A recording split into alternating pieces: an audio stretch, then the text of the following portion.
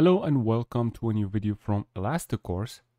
In the previous virtualization video, I showed you how to use VMware ESXi platform to start your own virtualization server and we use this type 1 hypervisor to host virtual machines and convert our machine into a multitude of machines using VMs. And in this video, we're going to talk about Proxmox, one of the biggest competitors for VMware and it's also a really robust and good solution for starting your own virtualization server. Now Proxmox has multitude of products, but the one we are interested in is the Proxmox virtual environment. Proxmox virtual environment will transform your computer into a virtualization server. You install this on the bare metal or you install it directly as the main operating system of the machine. And then you can use a web-based GUI, very similar to ESX, to manage this platform, upload ISO files, start virtual machines. Proxmox also comes with out-of-the-box integration and support for Linux containers or LXC containers. These containers are different from Docker containers I talked about before, but they share the same container concept with Docker, which is running application directly and sharing the kernel with the host OS, being in this case the Proxmox operating system, which is based on Debian. So it's open source, it's free to use, and you get like community support without having to pay anything. For enterprise and companies, they can opt in for higher support, which is paid for. First thing you're going to do is go to proxmox.com, downloads, and in here you will see the Proxmox ISO file. The latest version they have as of now is 6.4. I want to download this ISO file. Now to be able to burn this ISO file into a USB flash drive so that we can install it on our system is we need to use a tool like Rufus or Balena Etcher. I usually recommend Rufus because it tends to be more reliable, but Etcher works well for this case as well, and it has a little bit more modern design. So let's try this for this time. So I just searched for Etcher or Balena Etcher, and I'm gonna download the portable version of the app. So this way I don't have to install it. So now I'm in Etcher. I'm just going to go ahead and flash from file. I'm going to choose the Proxmox ISO file I just downloaded. And for the target, I'm going to choose my USB drive. And just click flash. Now I took the flash drive into the PC that I want to convert into a hypervisor. I open the boot menu by abusing the F8 button on the keyboard and I choose to boot from the USB drive. I had to go through a simple setup, just providing the country, the root password to log into the web GUI, and finally the disk that I want to use to run virtual machines and run the Proxmox environment. So I went ahead and at the end, it just rebooted and it gave me the address HTTPS, the IP address of the device, and it guided me to access the web GUI to control the system. Now I just want to make it clear that Proxmox and all the virtual machines nested under the system will need to be able to get IP addresses from your router or your firewall so that you can get their own IP addresses and can be communicated with. So in my case, I'm using the FortiGate firewall and I have my PC that I installed Proxmox on directly connected to this interface, the DMZ interface, this is running the network 10.1.10.0 slash 25.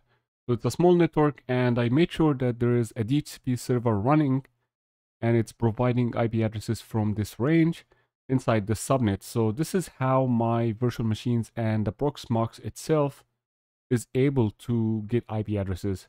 As you've seen here, there's one DHCP client, which is the Proxmox itself and all the virtual machines in the future will also be inside this pool.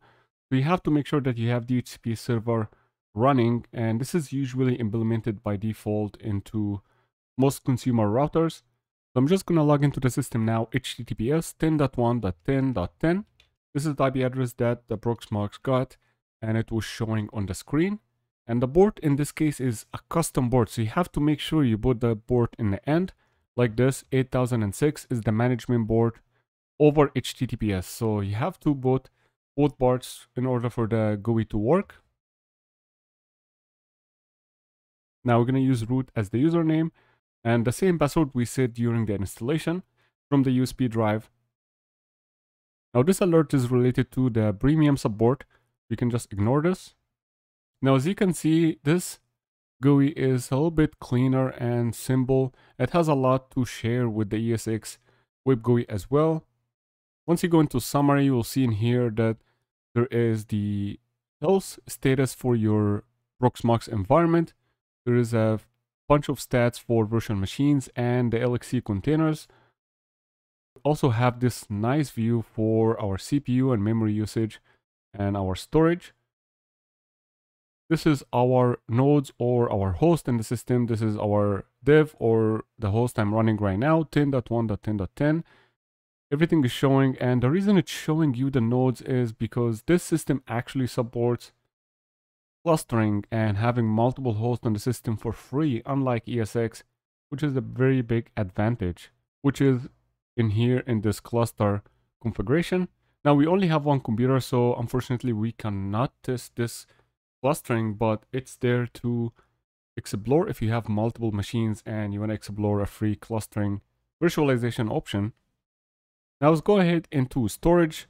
You'll see in here, this is our local storage which is used for ISO images, for backup, for containers. So let's go ahead and access this storage right from this menu. This is local div. And in here, we'll see an option for ISO images. We had very similar in ESX, which was called data store browser. And we were able to upload ISO images so that we can use them as templates or rather images to start virtual machines. So I want to go ahead and upload some of my favorite images. First image I want to upload is Manjaro, which is a Linux distribution with GUI. And as you see, this is being uploaded over the network. Now, as simple as that, now we have an ISO file we can mount to any virtual machine in the future to install Manjaro. Now let's also upload another Ubuntu server. So now we have all the ISO files that we can use in the future. Now let's see how we can create the first VM using Proxmox. Now you just click create VM. This is our single host div. Let's call this one Manjaro and just go ahead and click next. Now from here we just click the ISO file. So this is very simple. We can keep everything as is. This is Linux, newer kernel, so everything seems correct. We don't need anything to do with the graphic card. Just a 32 gig disk. Now for the CPU, since this distribution uses uh, a GUI, I just want to give it two cores just to give it a little bit more performance and maybe 4 gigs of RAM, so 4096. Finally, the network, this is running on the bridge, so this is going to get another IP address separate from this uh, 10.1.10.10, but also in the same network. Now let's click next. Everything looks good. Let's start. Click finish. As you see, this is now my virtual machine. Now from here, I can just click the console and I get right into the GUI from the browser, which is really nice. Very similar to ESX. I think it works even better in Proxmox, but this is subject to everybody's opinion. Now, as you see, once the install is complete, now we can access the full Linux GUI from the Proxmox in the browser. It's very nice. Let's see which IP address we got. So this machine got 10.1.10.11, the very next IP after the Proxmox IP itself. So now as simple as that, we were able to install our first Linux distribution in Proxmox. Everything works smooth from the browser and it's a very reliable solution. Now when it comes to creating VMs, it's good to keep security in mind and segregation as well. So right in this case, if you remember the IP address we got for this machine was 10.1.10.11. So they are living in the same network as the hypervisor. And the issue with this, in case of any VM escapes or any attacks that happen to the VM, it's possible for the attacker or the hacker to have access to your hypervisor layer by having them in the same network. So what we want to do in this case, we want to try to build another network segregated just for virtual machines so we can have an isolation layer between the hypervisor and the VMs. And the way we can do this is by creating a special VLAN just for this traffic. Now, since I'm running a firewall, this traffic has to go through the firewall and I have to allow or deny this access. But if you have a normal router that allows inter VLAN communication, it's going to be useless. But in this case, since I'm running a firewall, this is going to be very useful. So let's see how we can do this. We have to go back to the firewall and look into the interface. This was our interface DMZ 10.1.10.0 slash 25. And here you can see the two clients, the Proxmox and the virtual machine itself running Manjaro. So what I want to do is create the VLAN right now by creating a new interface. As you see, the default in this case is VLAN. And I want to call this VMNet. And for the main interface, this will be under the same interface connected to the hypervisor. So this is the DMZ. And for the VLAN ID, we're just going to put a unique number for this VLAN to be segregated from the non-tag traffic or the original traffic on the DMZ interface. For example, I want to use number 120. This will be my VLAN ID. And let's choose a separate network for this one. For our normal DMZ was 10.1.10.0. So for this network, let's give it 10.2.10.0 slash 25. We want to give the first IP address of the subnet to the firewall or the router to be the gateway. So it's going to be 10.2.10.1 is the firewall IP. And we're just going to go ahead and enable the DHCP server. So the virtual machines can get an IP address if we do this. So all the IP addresses will start from 10.2.10.2. You can modify this, make it start from 10.2.10.20 this is the subnet mask. DNS server, we can specify 1.1.1.1. So now every client in the VMNet will be tagged with this VLAN. It will not be able to communicate with the Proxmox layer directly without a firewall policy allowing it to do so, which provide us an extra layer of security. So now as you see, our sub interface VLAN 120 VMNet is now ready for use. And I just want to go ahead and create a new virtual machine and have it added to this interface. So we're going to go ahead and create another VM. This one we're going to use the Ubuntu server because it's one of my favorites. I'm going to choose the Ubuntu 2104. I'm just going to use the same disk size. For Ubuntu server, there is really no GUI, so one core is okay and 2 gigs is also okay. Now comes to the important part in the network. Remember we are using the bridge. This is the DMZ interface on the firewall connected to the PC.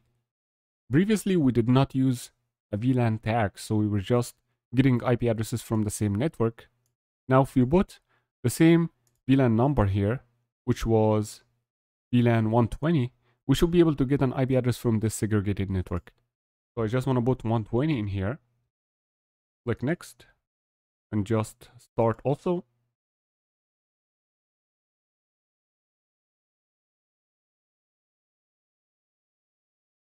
Now as you see the IP address the machine got during the setup is 10.2.10.20 which is the first IP address in here. Actually if we refresh this page we should be able to see that there is an extra client in the DHCP here.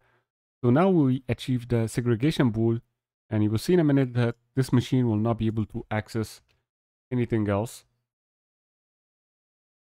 In fact, the machine is not even able to access the internet right now because this new interface is not added to our internet access policy. So as you see in here, it will not be able to access the internet. And it's just gonna continue without updating. Back to here, let's grab the IP address one more time, IP address 10.2.10.20. So I want to do SSH. Elastic is the username 10.2.10.20.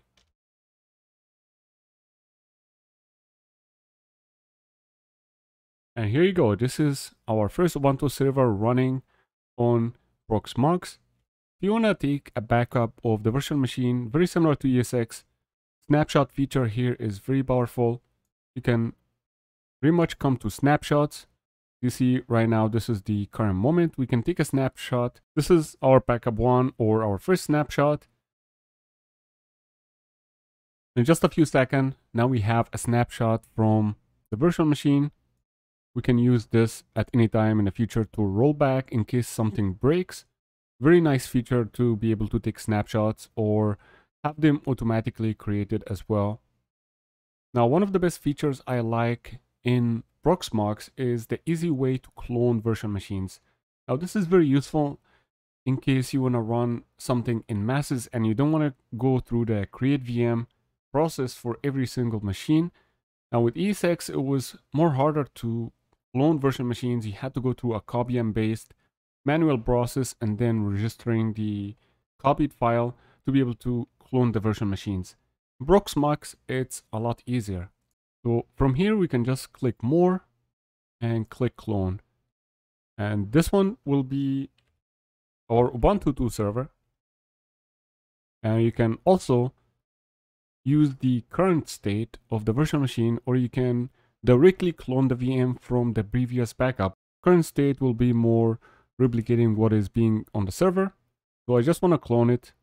And the best part, it doesn't have to be powered off so that you can clone it. It can actually work with the machine running. This is the best part about it. Now it looks like our clone machine is ready. So let's try to start it Now as you see, I have my clone machine running. So now let's confirm what is the IP address on this machine. The IP address on this seems to be 10.2.10.21. So we got the very next IP address after the first machine. So let's try to SSH to the new machine, 10.2.10.21. As you see, I'm in the second machine. And that's how simple it is to clone virtual machines using Proxmox. Another option for people who ask how to have a virtual machine run on Proxmox boot or run automatically once your hypervisor reboot. In this case, all you need to do is go to option, start a boot, edit this command and just make it enabled. This way, if Proxmox is rebooted or being updated, this Ubuntu 2 virtual machine is gonna start again on its own with the system booting. Now we can create another VM for Windows I tested it before and it works great. Exactly the same like Linux and runs very well from the browser as well. You install also the guest agent for Windows or the QEMU guest agent for Windows. It's going to improve the performance a lot from the browser or you can also use remote desktop to connect to the Windows VMs. Now the last thing I want to show you inside your host or Proxmox host still gives you CLI access to the hypervisor operating system, which is Debian based. As you see in here, this is Debian Linux. From here, I want to show you how you can add the black theme just to make it easier for the eye to access this Proxmox GUI. So I'm going to go ahead and paste this in here, wget, and I'm going to put this in the comment section also for you to try. This is a simple Python script that's going to add a dark theme to Proxmox. So we downloaded the file and we're just going to run it with Python. So it's going to ask us if we want to install the theme. So it's going to put I. going to install some images and CSS files. And once it's done, and this is how the system looks like with the black theme. So if you want to try this Proxmox, just give it a try. Let me know your thoughts in the comment and I'll see you next video.